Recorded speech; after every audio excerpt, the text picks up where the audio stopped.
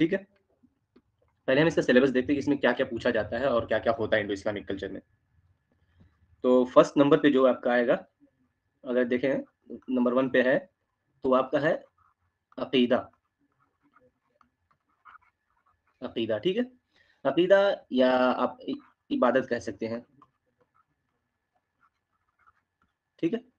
इबादत। अकीदा हो गया आपका बिलीव्स और इबादत हो गया आपके प्रेयर्स ओके? एक टॉपिक ये है। और सेकंड टॉपिक है आपका।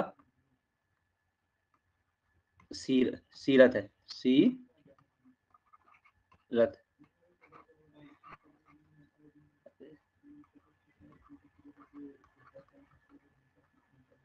सीरत रसूल, ठीक है? सीरत रसूल की मीनिंग मतलब यह है कि जो प्रोफेट मोहम्मद है, उनकी बायोग्राफी उनकी लाइफ हिस्ट्री ठीक? थर्ड थर्ड ऑप्शन में है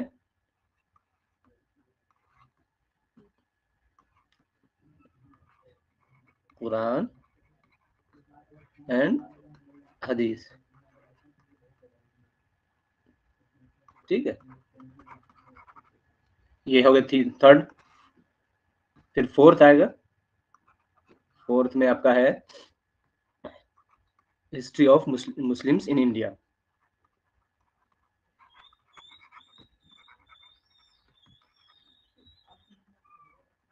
Muslims in India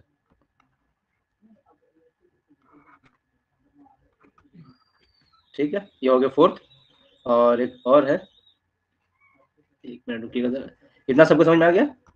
ये चार हो गया। एक और टॉपिक है जो फिफ्थ है। फिफ्थ में आपका आ जाएगा Muslim cultures in India Muslim cultures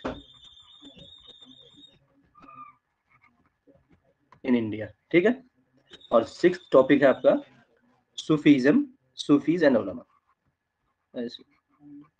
Sufis and U L A ये छह टॉपिक्स हैं इन इंडिया ये भी, ठीक है? इन इंडियन कॉन्टेक्स्ट ये छह टॉपिक्स हैं। ओके अब नेक्स्ट हम स्टार्ट करेंगे सबसे पहले। अकीदा और इबादत। ये दो टॉपिक हम पढ़, बताते हैं पहले आपको।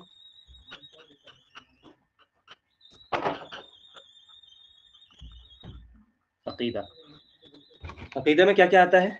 यानी आपके जो बिलीफ्स हैं। अकॉर्डिंग टू इस्लाम क्योंकि इस्लामिक कल्चर बताना इसलिए अकॉर्डिंग टू इस्लामी में बता रहा हूँ। ठीक? बिलीफ्स में आपको होगा, सबसे पहले अगर मुस्लिम्स हैं तो उनको शायद ईमान मुफसल याद होगी। ईमान मुफसल आमन बिल्लाहि व मलाइकती व कुतुबिही व रसूलिही वल यौमिल वल मलाइक, व रसूलिही वल यौमिल आखिर वल क़द्रि खैरी व शर्रिही मिन अल्लाह तआला वल मौत। यही एक बिलीफ है। ठीक है, ये डिटेल है अकीदे की। अमन तो बिल्ला फ़र्स्ट मतलब कि उसमें अकीदे में सबसे पहले अल्लाह। इन पर बिलीफ, अल्लाह पर बिलीफ होना चाहिए। नंबर टू पे आएगा अमन तो बिल्ला व मलाइकती, यानी फरिश्ते। ठीक है? सेकंड में फरिश्ते व मलाइकती आ जाएगा।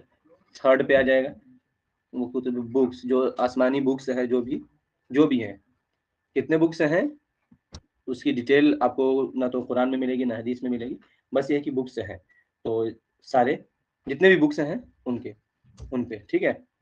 अमन बिल्लाहि व मलाइकती व कुतुबी व कुतुबी देन फोर्थ पे है, व रसूल ही यानी सारे मैसेंजर्स पे।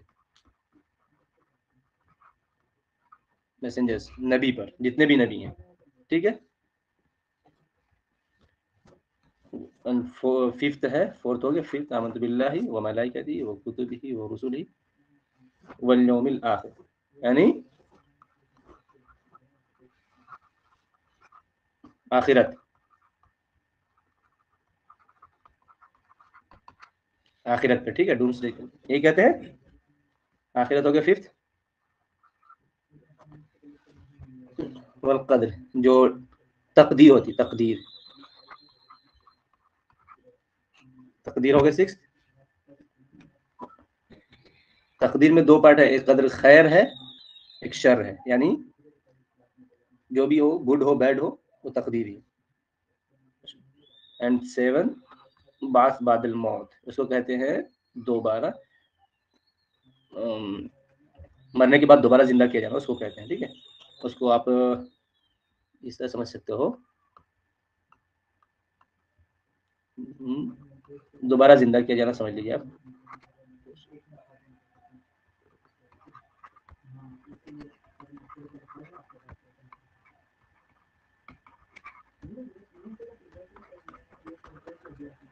ठीक है, ये सेवन है।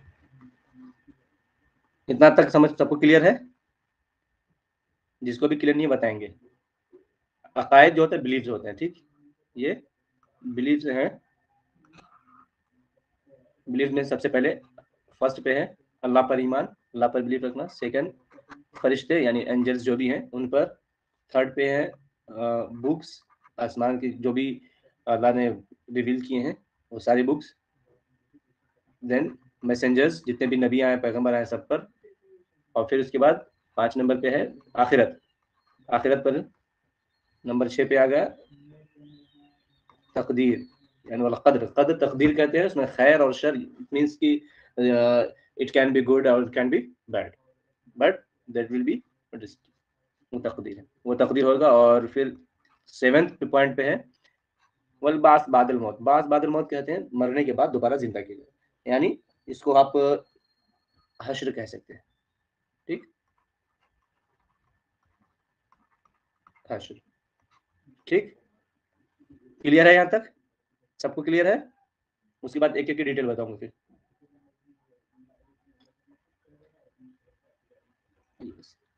जिसको क्लियर नहीं, वो बताए।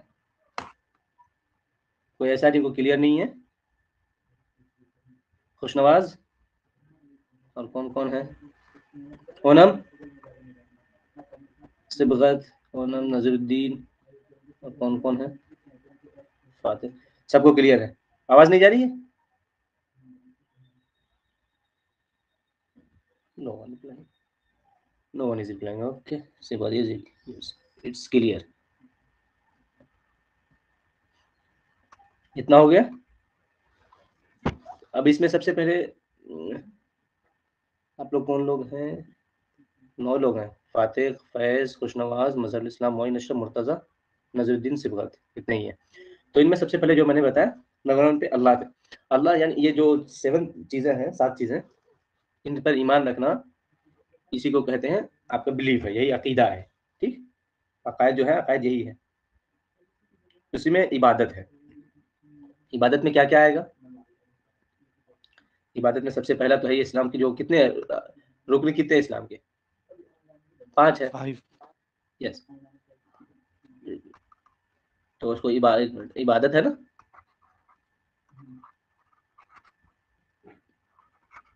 ओके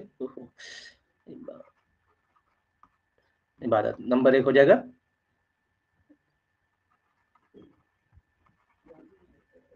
नमाज़, यही है? नंबर एक पे नमाज़ है? नमाजी इबादत इबादत का मेन तो जाके नमाज़ ही। वहाँ से स्टार्ट ही होता है है ना? नंबर तो पे आ जाएगा जक़ात आपका। जक़ात रोज़ा दोनों आ जाएगा। नंबर तीन पे आ जाएगा आपका।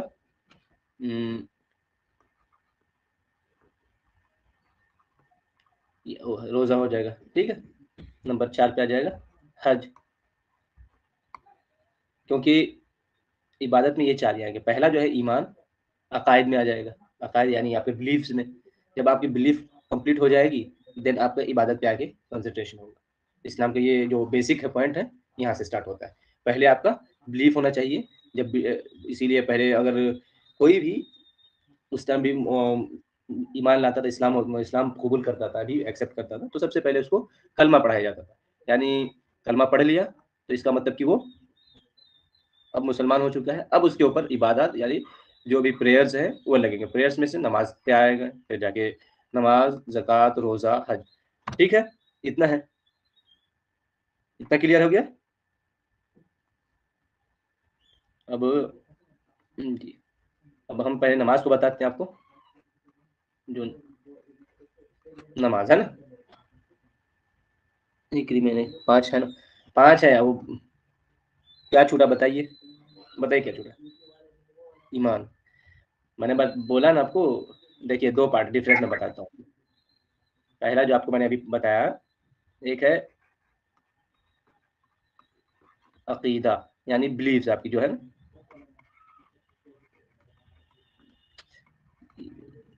बिलीव है ना? जो ईमान ईमान है, ईमान, ये बिलीव का पार्ट है, ये इसका पार्ट है, ठीक है? और दूसरा जो पार्ट था, वो इबादत का है,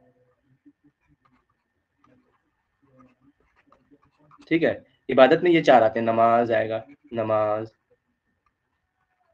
रोज के बाद रोज़ा, जक़ात, और जाकर के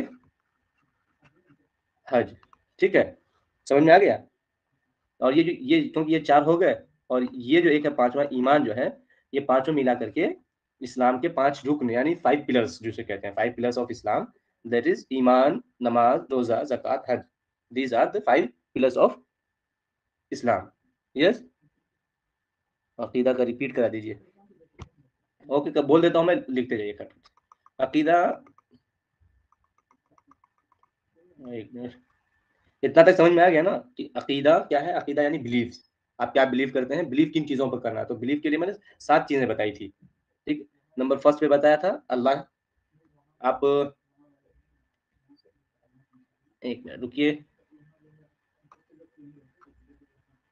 लैंड रुकिए। आपको एक इमेज में शो कर रहा हूँ, ठीक है?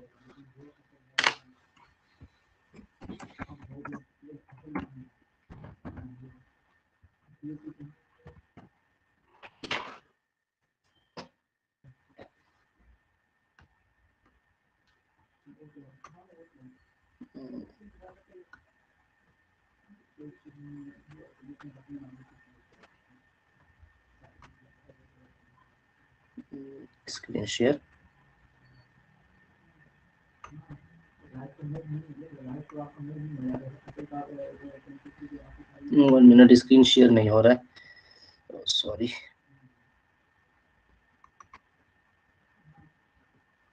स्क्रीन आपको दिख रही क्या? स्क्रीन शेयर होगा? हम्म। ठीक, अब दिख रही होगी स्क्रीन ठीक है? स्क्रीन दिख रही है? कोई माइक ऑन करके बोलिएगा एक। गूगल खुला हुआ दिखाओ, दिख रहा है? नो सर प्रेजेंटिंग अब दिख रहा होगा? अभी भी नहीं दिख रहा है? यस दिख रहा है ना? हाँ तो ये देखिए, अब मैं बता रहा हूँ, जो बिलीफ जो पार्ट है ना पहला आमन तो बिल सॉरी हम्म डिटेल में दिख रहा है? ये जो फ़र्स्ट है, ये वाला आमन तो बिल्ला ही बिल्ला ही मतलब अल्लाह पर, एक ईमान, ये हो गया एक पार्ट सेकंड ये मलाइका यानी एंजल्स फरिश्ते देन कुतुबी ही बुक्स जो भी आसमानी बुक्स हैं वो रसूल ही इट मींस मैसेंजर्स जितने भी मैसेंजर्स वो वल्योमिल आखिर वल्योमिल आखिर मीन्स कि जो कि, जो भी वल्योमिल आखिर यहाँ से जो भी आखिरत का दिन होगा, उस पर, यानी इस दुनिया के बाद वल कद्र खैर ही व शर ही कद्र यानी तकदीर, और बास बादल मौत इट मीन्स हश्र, मरने के बाद दोबारा ज़िंदा ज़िंदगी ठीक? ये, समझ में आ गया? कयामत हाँ। डे ऑफ़ जजमेंट ठीक है? समझ में आ गया ना? मिल गया?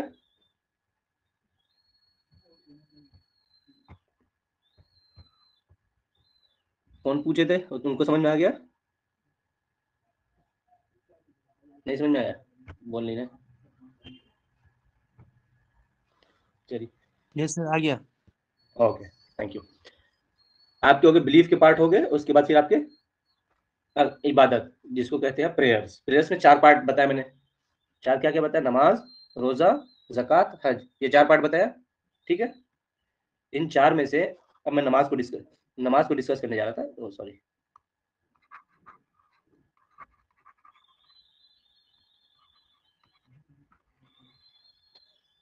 अगर आप मुस्लिम हैं तो आपको पता होगा नमाज़ कितने वक्त फ़र्ज़ है।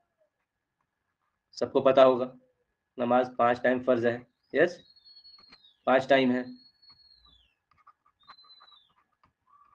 फज्र हम्म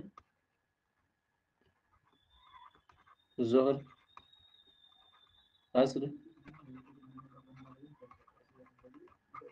मगरिब ईशा यही है? एक, दो, तीन, चार, पाँच, यही है? हम्म।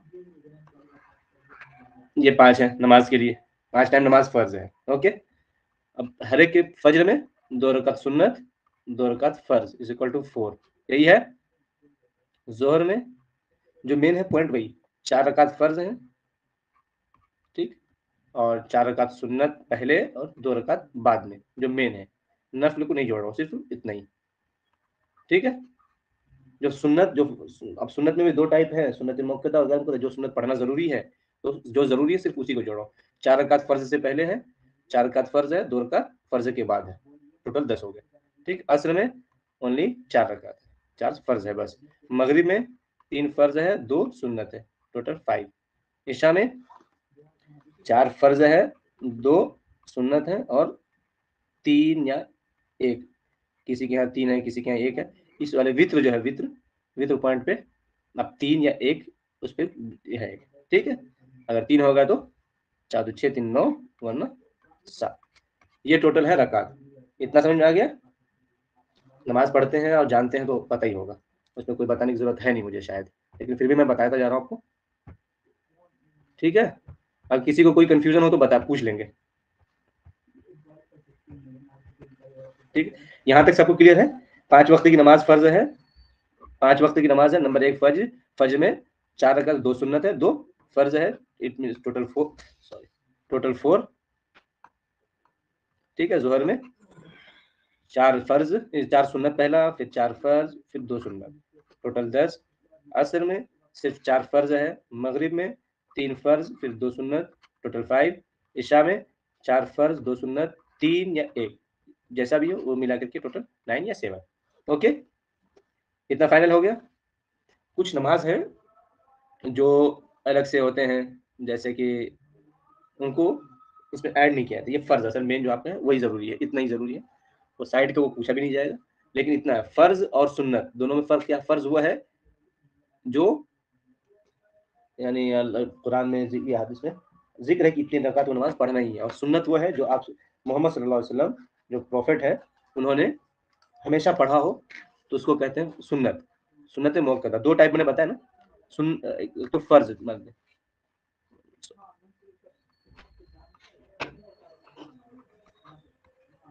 फ़र्ज़ नमाज़ के लिए क्या है? जो कि आपको ज़रूरी है, पढ़ना ही है। ठीक? और सेकेंड हो गया सुन्नत। फ़र्ज़ में ये समझ लिया कि ये अल्लाह की तरफ़ से नाजिल हुआ था। अल्लाह ने कहा है, इतने तरकत पढ़ना है तो पढ़ना है। सुन्नत में दो टाइप है। नंबर वन जो कंपलसरी है कंपलसरी होंगे। और दूसरा कंपलसरी नहीं है। मैं समझ अपनी तरफ़ से। पढ़ने की और कंपलसरी में वो इस वजह से कि आप सल्लल्लाहु अलैहि वसल्लम ने हमेशा उसको पढ़ा है। इस वजह से, उसको सुन्नत मौकदा भी कहते हैं। ठीक है? मौकदा काम नहीं कर रहा है।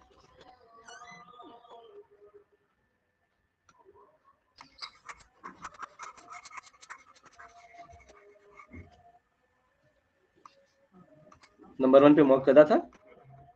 ठीक है? नंबर टू पे। गैर मौकदा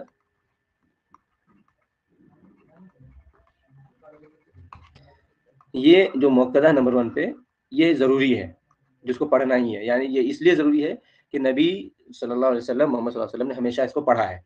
जो फजर में दो रकात, जहर में चार रकात, फिर दो रकात और मगरिब में दो ईशा में दो, ये जो है इस वजह से ज़रूरी है कि आपने मोहम्मद वसल्लम ने हमेशा पढ़ा है। और उसके बाद गैर मौकदा में जो है, जैसे कि आपको ईशा में है ईशा में ईशा में चार रकात है, असर में है तो वो जो है, आप वसल्लम ने कभी पढ़ा है, कभी नहीं पढ़ा है। इसका पढ़ना ज़रूरी है, जो कंपलसरी वाला है, ये वाला है, ये वाला पढ़ना ज़रूरी है। उसको पढ़ना ही है, और ये वाला आपके ऊपर है, पढ़ लें तो आपको उससे सवाब मिलेगा, नहीं पढ़ेंगे तो कोई गुना नहीं है, ओके? यहाँ तक क्लियर है? नमाज़ से क्लियर हो गया सबको? फिर नेक्स्ट में आगे बढ़ूँगा। यहाँ तक क्लियर हो गया तो। यस कोई ऐसा है जिसको समझ में नहीं आ रहा, कुछ क्लियर नहीं हो पा रहा है? कोई भी हो तो बताए। ठीक है? तो इतना हो गया? क्लियर है। नेक्स्ट नेक्स्ट आपका है नमाज़ का हो गया पूरा? रोजा है। ठीक है? रोज़े में क्या है? रोजा फ़र्ज़ है। यानी, और उसमें भी कितने? एक महीने का, एक मंथ का पूरा रोजा।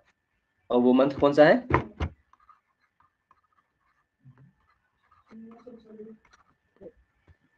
रमज़ान है, ठीक है? ये पूरा मंथ है, ये रमज़ान है। इसमें पूरा ये महीने का पूरा फ़र्ज़ है आपका। ठीक?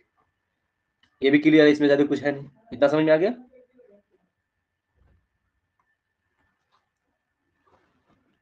अब मैं आपसे पूछूँगा। अब बताइए आप, मजहरुल इस्लाम मजहरुल इस्लाम यस आप माइक ऑन कीजिएगा। मजहरुल इस्लाम माइक ऑन कीजिए यस अब बताइए, मैंने बिलीव में क्या क्या बताया जी अकीदे में जैसे अल्लाह ताला की ज़ात पर भरोसा रखना बिलीव करना। इसके बाद बरोज़ हर्ष इसके बाद नबी पाक वसल्लम और मतलब चारों मैसेंजर पर भरोसा करना उनके इसको मानना और फरिश्तों पर। इसके बाद चारों किताबों पर ईमान रखना।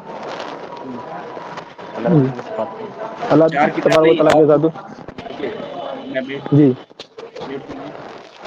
जी। म्यूट की दोबारा से बता रहा हूँ आपको मैं। जितने भी मैसेंजर्स हैं और बुक्स हैं फरिश्ते हैं। अल्लाह पर तो ईमान तो है ही है, नंबर एक। ठीक है? नंबर दो पे जो है,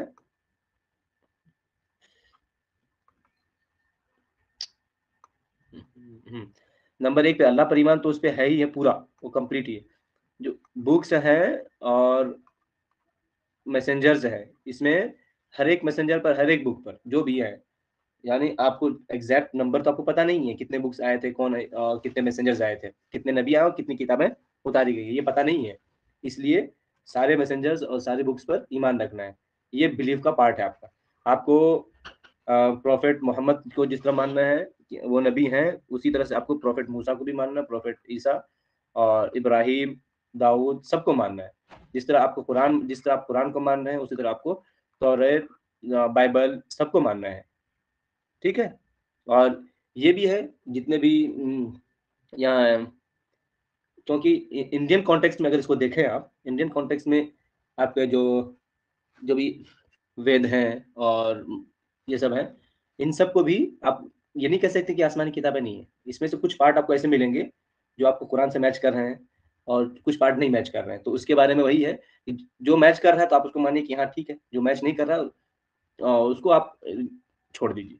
यही बात यही बात है, ठीक है? आपके बिलीफ का पार्ट है वो, इतना ही है। जितने भी आसमान की किताबें हैं, उस सबको मानना है। और मैसेंजर के वो भी, इसमें आप अलग नहीं कहेंगे चार है या पाँच है, इस तरह करके नहीं कर सकते। ठीक है ना? अभी जो भी बोल रहे थे, वो, ये डिफरेंस खत्म कर लें। ओके बिलीव का हो गया इबादत में जाकर के आपका नमाज़ रोजा हो गया। थर्ड नंबर पे इबादत में आता है जक़ात। ठीक? जक़ात किसे कहते जक़ात एक तरह का टैक्स है। जक़ात एक तरह का टैक्स है जो मुस्लिमों पर लगता है। मुस्लिम का, और वो टैक्स अल्लाह की तरफ़ से है। ठीक है, उसको कोई इंसान ने अलग से नहीं लगाया है। नबी ने भी नहीं अल्लाह ने लगाया वो 2.5 परसेंट, ठीक? 2.5 परसेंट लगता है। किस पे लगता है? जब आप, उसके लिए भी एक लिमिट है कि इतने लिमिट में आपके पास दौलत हो, इतने लिमिट में सोना हो, चांदी हो, उस तरह से एक लिमिट है। ठीक है?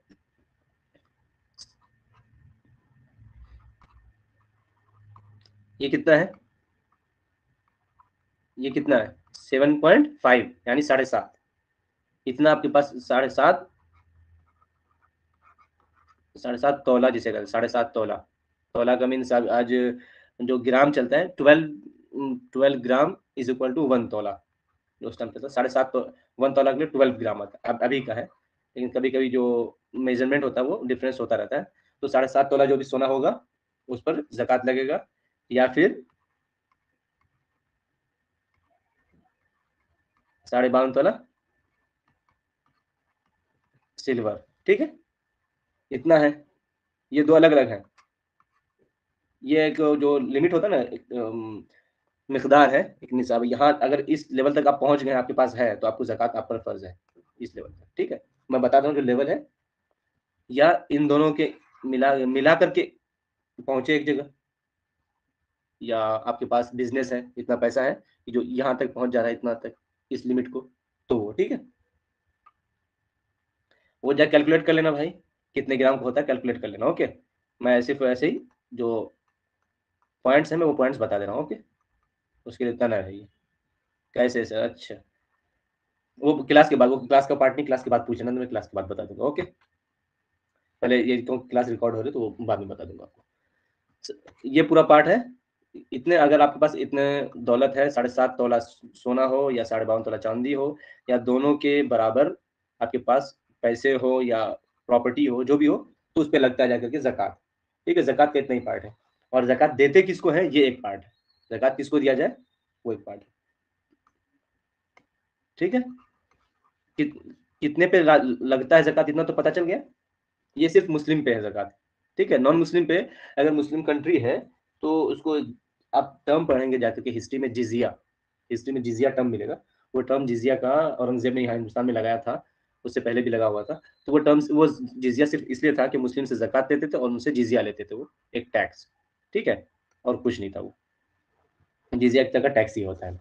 और अनाज वगैरह में हाँ। एक बार और बता दीजिए जक़ात का।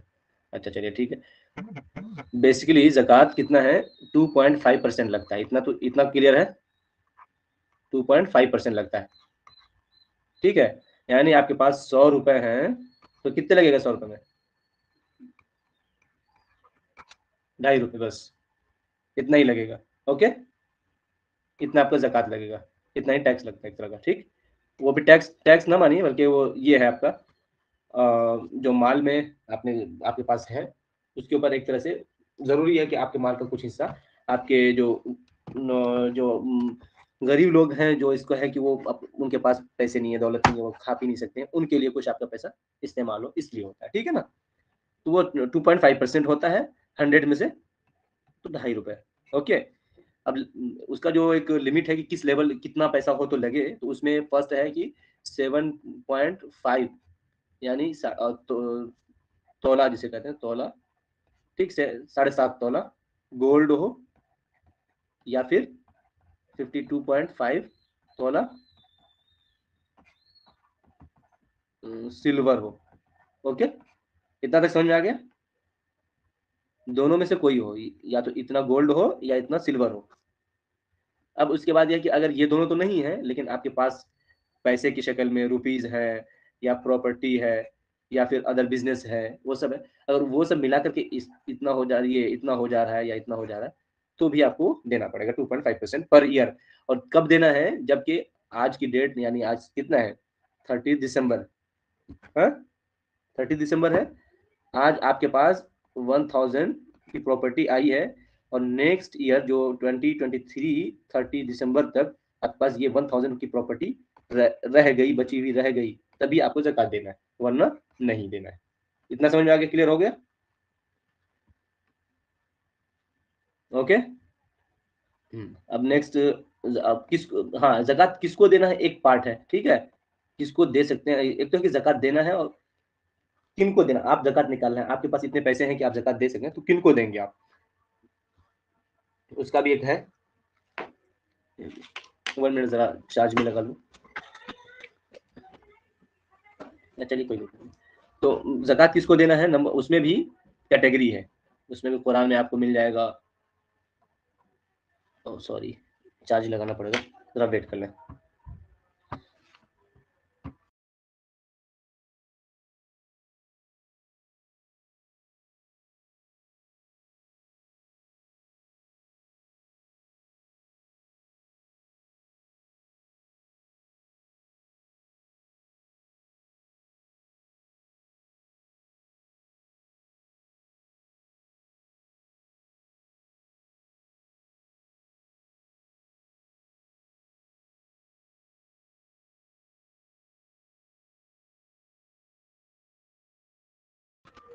हाँ तो जक़ात किसको देना है? ये एक पार्ट है। जक़ात तो देना है, लेकिन आपके पास है, आप देंगे तो किसको देंगे वो एक पार्ट है। उसके लिए आपको कुरान में एक पूरी आयत मिल जाएगी इन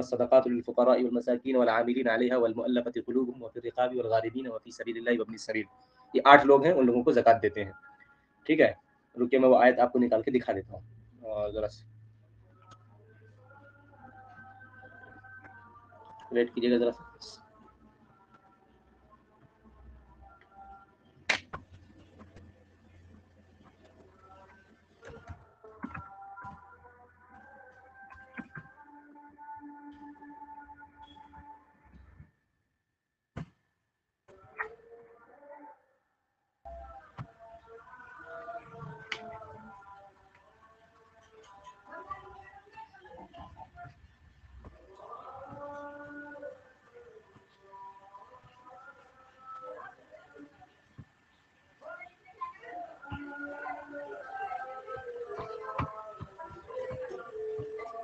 तो वो आठ लोग हैं ठीक है?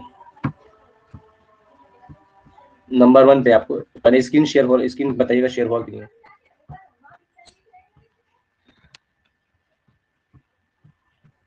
अब स्क्रीन दिख रही?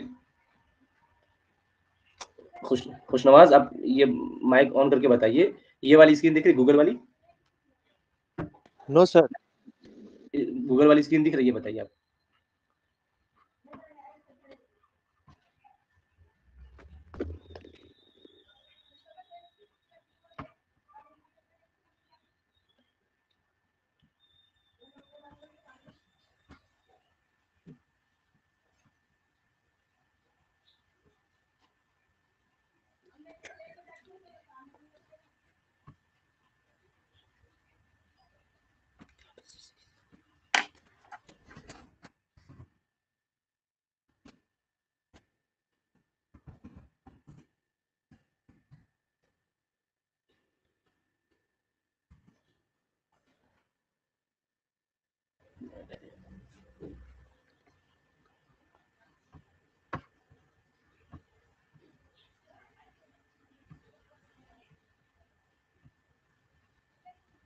दिख रहा है?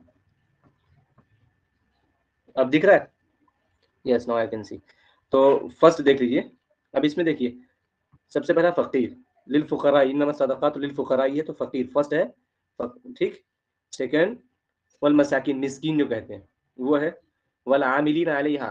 यानी जो ज़कात वसूलने के लिए जाता है उनको कहते हैं आमिल। ठीक। वल मुअल्लफत कुलूबुहुम। जो फोर्थ पार्ट है वो होता है कि जो आ, ये अभी तो अब, ये अब रहा नहीं, लेकिन उसको कहते हैं, जब कोई उस टाइम जो ना, जब ये हुक्म आया था प्रॉफिट मोहम्मद वसल्लम के ज़माने में तो उस टाइम जो इस्लाम लाते थे, उनको दिया जाता था, क्योंकि वो इस्लाम अपना सब छोड़ कर आते थे, उनको ज़्यादा कुछ रहता नहीं था तो उनको दिया जाता था, ठीक है? वो था। और और जो लोग इस्लाम से इंटरेस्टेड होते थे, उनको दिया जाता था, ठीक? वल मुअल्लफत कुलूब हैं। और रिकाब फिफ्थ पार्ट फिफ्थ है रिकाब। रिकाब कहते हैं जो स्लेवरी सिस्टम था स्लेवरी स्लेवरी छुड़ाने के उनको फ्री फ्रीडम दिलवाने के लिए जो भी दिया जाता था, वो उनको है रिकाब वल गारमीन गारमीन कहते हैं जो कर्जदार है। आप इतने कर्ज लिए हुए हैं कि आप कर्ज लौटा नहीं पा रहे हैं, अदा नहीं कर पा रहे तो वो एक है। वफी सबील और एक कहता है जो, फ़ी सबील मीन्स होता है कि अल्लाह के रास्ते में। इट मीन्स कि आप कहीं अपने काम के लिए नहीं, बल्कि अल्लाह के काम के लिए, जैसे कि उस टाइम वॉर्स होते थे। इस्लामिक जो जिहाद कहते हैं, जिहाद तो उस मीनिंग में नहीं है, लेकिन जिहाद जो भी कहा जाता है, उस टाइम जो वॉर हुए थे, उसके लिए जो जाते थे, उनको कहते थे, ठीक है? फ़ी सबील और इब्न सबील फिर कहते हैं लास्ट जो है, आठवें नंबर, वबन सबील, इब्न सबील, यानी मुसाफिर, जो सफ़र पर निकले हैं, उनके पास पैसा नहीं, सारा सामान उसका चोरी हो गया, जो भी होगा उसके पास पैसे नहीं। तो वो एक है, ये आठ लोग हैं। पहला फुकारा या फकीर, दूसरा मिसकीन दूसरा आमिल आलिया मतलब वही, जो जक़ात वसूलते हैं मुअल्लफत कुलूबुहुम जो न्यू न्यू इस्लाम में आते थे उस टाइम और उनके पास कुछ वेल्थ वेल्थ नहीं होते तो उनको या जो लोग इस्लाम से करीब आना चाहते तो वो उनके लिए। और रिकाब कहते हैं वही, जो गुलाम होते थे स्लेवरी सिस्टम तो उनको छुड़ाने के लिए, वो गारमीन जो कर्जदार है, उनको सबील्ला यानी जो जंग में निकले थे, या जो भी अल्लाह के काम निकले थे, उनके लिए। और इब्न सबील इट मीन्स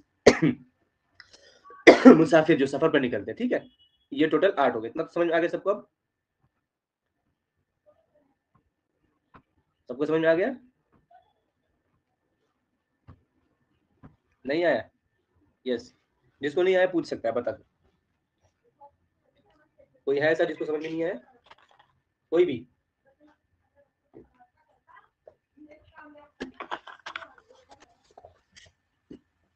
ठीक है, चलिए मतलब सबको समझ में आ गया। आप देखिए, चार लास्ट पार्ट है, उसके बाद हज। ठीक है, जक़ात हो गया, आप क्या बचा? हज। ठीक? हज क्या है? हज के लिए भी शर्त है कि हज कौन कर सकता, कौन नहीं कर सकता उसके लिए, ठीक है? कौन जाएगा? उसके लिए है कि आप यहाँ से, यानी जो भी जिस कंट्री में आप रह रहे हैं, जहाँ भी रह रहे हैं, वहाँ के रूल के अकॉर्डिंग आप अपने घर से निकल कर मक्का पहुँच रहे हो और ये जो डिस्टेंस है, इस डिस्टेंस कवर करने में आपको कोई तकलीफ़ ना हो, जान का खतरा ना हो मतलब कि आप आराम से कवर कर सकते हो, जा सकते हो और जितने दिन का गैप है, जितने दिन का गैप है, उतने दिन का गैप का खाना, पीना, सारा खर्चा आप अपने घर वाले को, अपने बीवी, बच्चों को, जो भी घर में है सबको आप दे के जा सकते हो और फिर यहाँ से वापस आने तक ये लोग आराम से रह सकते हो, तभी यहाँ पर हज फ़र्ज़ है। इतना समझ में आ गया? हज कब, समझ में आया? हज इट मीन पिलग्रिमेज तो हज पे जाते हैं यहाँ से, मक्का से मक्का जाते हैं, उसी वही है। समझ में आया ये वाला? हज कब फ़र्ज़ है? जब आपके पास इतने पैसे हों कि आप अपने कंट्री के रूल के अकॉर्डिंग यानी अभी वीज़ा और पासपोर्ट लगता है, वो सब वो सब रूल के अकॉर्डिंग आएगा और रूल के अकॉर्डिंग आप, आपको सहूलत हो, आप मक्का जा सकते हो और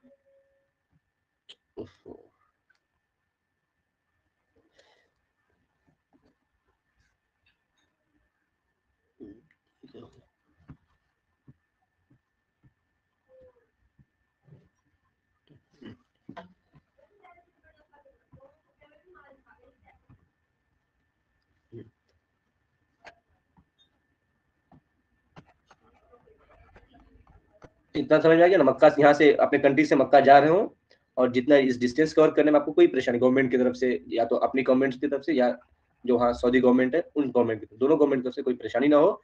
फिर आप जितने दिनों के लिए जा रहे हैं, उतने दिनों का खर्चा सारा आप अपनी फैमिली को दे के जा रहे हो, वापस आने तक उनके पास सारा खर्चा हो, सब हो, तब आप पर फ़र्ज़ है। क्लियर क्लियर हो गया सबको ये वाला? हज या नहीं? कोई ऐसा है जिसको क्लियर नहीं हुआ? कोई ऐसा है जिसको क्लियर नहीं हुआ तो बताए। हम्म। सबको क्लियर है। ओके अच्छी बात है। तो आपके टोटल कितने हो गए? इस्लाम के अरकान यानी पिलर कितने हो गए?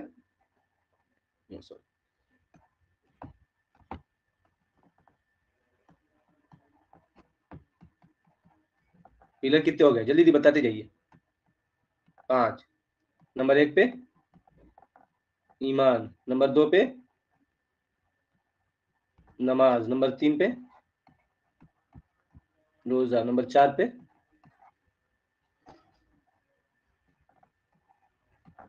जक़ात। नंबर पाँच पे? हज। यही है? टोटल हो गए? अब इनमें से ईमान का पार्ट किस पे जाता है जाके? बिलीव अकीदे पे जाता है। ओ सॉरी अकीदा, जिसको बिलीव कहते हैं ना? यही है। और ये बाकी चार पार्ट है, ये इबादत में जाता है। ठीक है? इतना समझ में क्लियर हो गया पूरा? कोई, इसमें कोई कंफ्यूजन तो नहीं किसी को?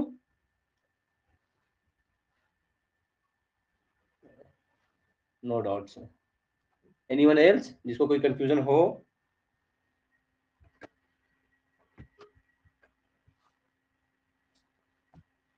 चलिए, किसी कोई कंफ्यूजन नहीं ओके चलिए। तो यही आज, यही वाइंड अप करें यही।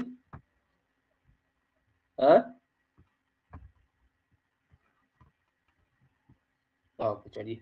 चलो तो सबसे पहले मैं रिकॉर्डिंग ऑफ़ करता हूँ।